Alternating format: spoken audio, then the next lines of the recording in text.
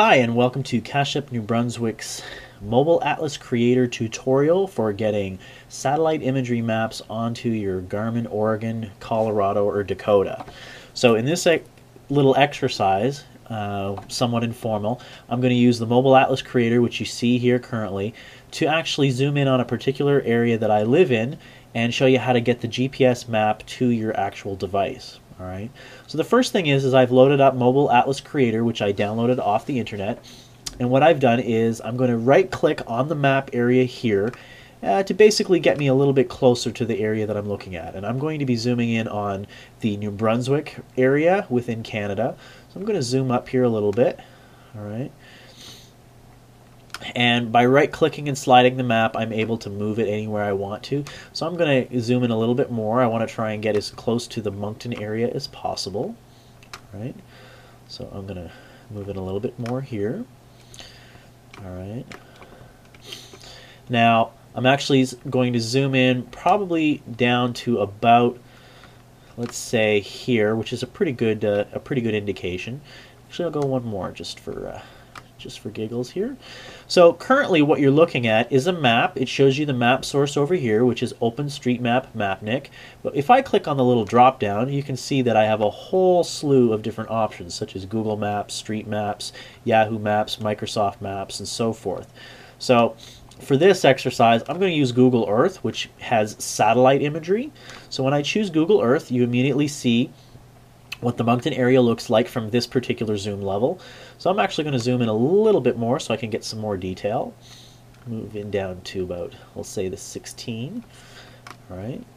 So here, you can actually see the pretty clear satellite imagery of the uh, Dieppe traffic circle within the province of New, uh, excuse me, not the province of New Brunswick, Moncton. All right, so you've got pretty clear images. So I'm actually going to jack the zoom down a little bit uh, so that I can see a larger area. All right. So when I want to select an area that I'm going to add to my atlas, the first thing that I need to do is actually give it a name. So I'm going to call this Moncton. All right. And then what I'm going to do is I'm going to select this particular area by using my left mouse button and dragging and zooming out a selection such as this. And you can notice that when I reduce the zoom, it keeps the same area. So let's actually select a larger area such as this okay?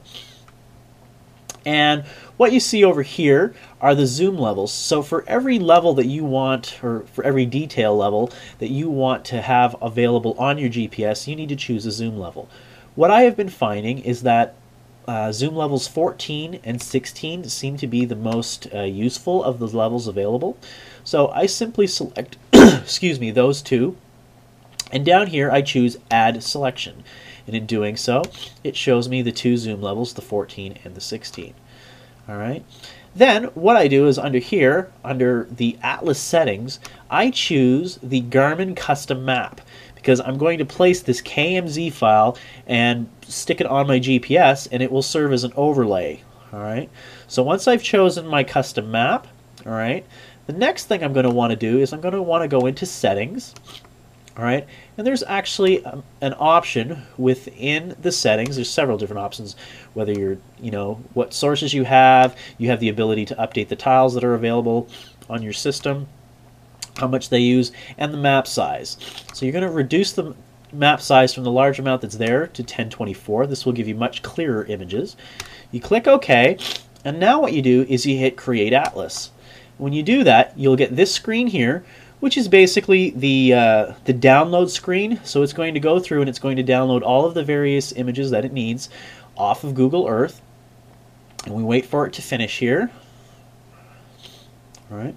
When it's done, it will say it's finished successfully, and we click on Open Atlas folder, and you see unnamed atlas here, and there's moncton.kmz, and that is the actual overlay file which will be applied to my GPS giving me satellite imagery. All right. Then what I do, I simply right click on this. I choose copy. I go on to my Garmin device that I have. In my case, it's an Oregon. I go into the Garmin folder and under custom maps, I would simply paste it into here. Now, I already have a file loaded uh, that I had generated previously. So I paste the image in here. I close this. I can close this and keep it open and regenerate as I want to. Um, but as soon as I unplug my GPS from my computer and turn it back on, that custom map is now available and it's automatically enabled. So as soon as you uh, open up your your GPS and you look at your map, you should now see the satellite overlay. And you should be able to, to enable and dis- disable that satellite image the same way you would any other map. I hope this little tutorial has been helpful and good luck with using satellite images and Mobile Atlas Creator.